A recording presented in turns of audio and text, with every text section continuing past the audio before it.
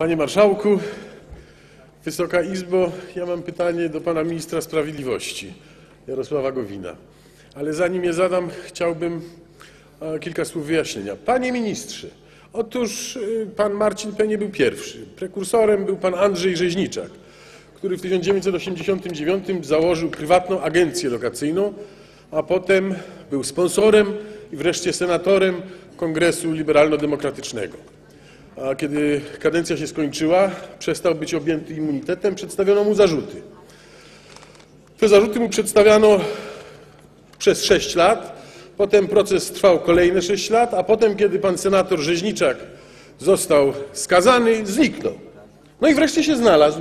Po następnych bodajże czterech latach, w 2010 roku został aresztowany, no gdzieżby indziej, w Gdańsku, w Gdyni, w Trójmieście i został przewieziony do aresztu w Chojnicach, gdzie oczywiście umarł.